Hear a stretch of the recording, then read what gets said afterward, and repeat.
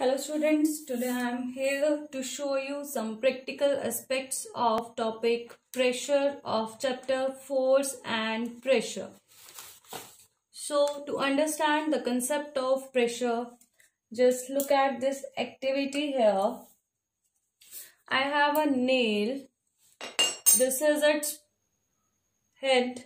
This is its pointed end. And when I put to push a nail into the wooden plank by its head by hitting it with hammer. I apply a force by using hammer on the nail. Did you succeed? Obviously no. Now I will try to push the nail by the pointed end. I apply the same force as in former case.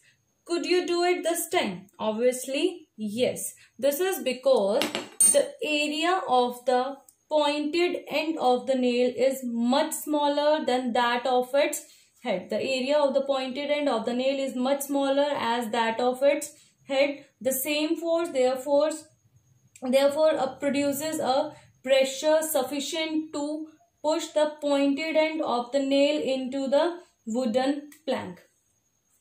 Now we will look at the second activity. I have a piece of tomato here and a knife is here. When I cut the tomato with a knife, the area of contact is the area of the cutting edge of the knife. This is the cutting edge of the knife. So this is the area of contact. If knife has a sharp edge, then area of contact is smaller and if knife has a blunt edge this edge is blunt edge. If knife has blunt edge the area of contact is larger. So students tell me in which case is it easier to cut a piece of tomato? Obviously when the knife is sharp it is easier to cut the tomato. Just look here. When i cut firstly i will cut this piece of tomato with the blunt edge I'm not able to cut it. Now I will cut this piece of tomato with the sharp edge. Here I'm able to cut the knife. Why is it possible? Because smaller the area of contact that is smaller the area over which the force acts the greater is the effect of force is it clear to all of you? Now, here, here we will discuss about the definition of pressure.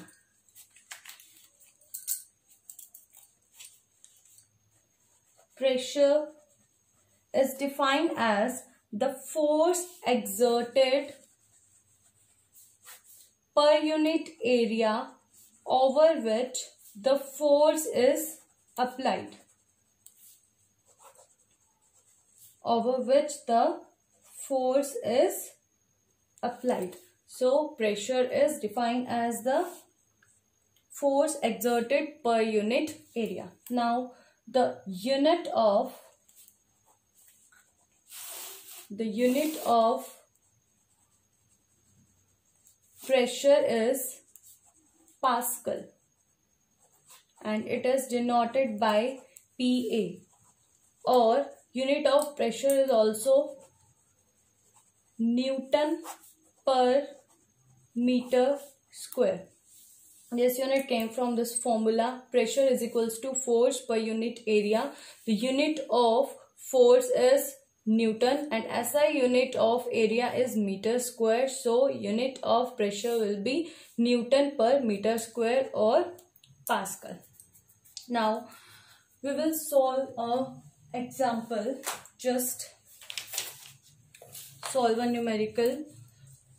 Calculate the pressure. You have to calculate the pressure exerted by the brick which applies a force of 2.5 newton which applies a force of 2.5 newton. First I have to solve when it is placed when it is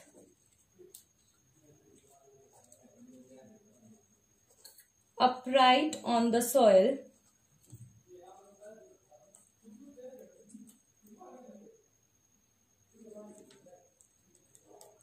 first case is this and it is given the that dimensions of brick are 25 centimeter into 10 centimeters into 5 centimeter this is the dimension of brick.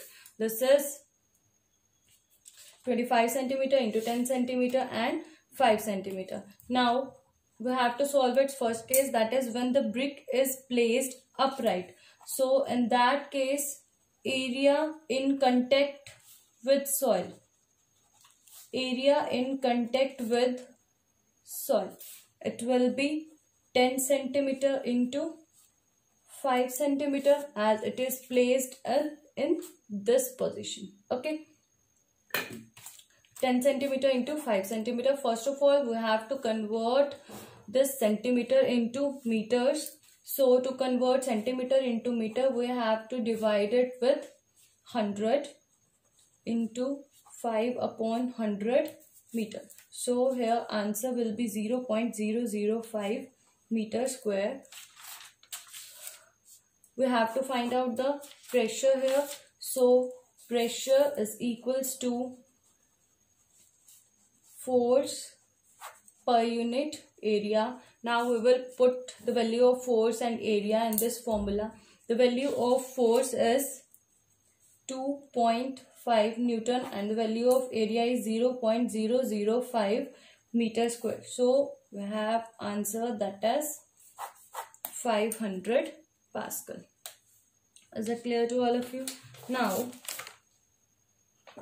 we will discuss some practical applications of force and pressure in our daily life. So, first is, it is difficult to run on sand for us because our feet sinks into the sand. Now, we will discuss about camel. A camel is able to move fast on sand because it has flat, broad feet it has flat broad feet. This increases the area of contact with sand. Hence, if area increases, then pressure exerted by camel on the sand is reduced by the formula pressure is equals to force upon area from this formula we have that we concluded that pressure is inversely proportional to area. If area increases, then pressure decreases. So in this case, the pressure exerted by camel on the sand is reduced and camel's feet sink much less in the sand. Second example, trucks mean to carry heavy loads have 8 rather than 4 tires. This is because to increase the area of contact to increase the area of contact from the formula we concluded that force is inversely sorry pressure is inversely proportional to area of contact so in this case if area increases then pressure get decreases so this reduces the pressure on the tires third case, we will discuss the cutting and piercing tools such as knives, needles, saws have sharp blades or points to reduce the area of contact. Here area of contact get reduces. If area of contact get reduces then from this formula pressure get increases. If pressure get increases then we are able to cut the, the piece of tomato apple anything else with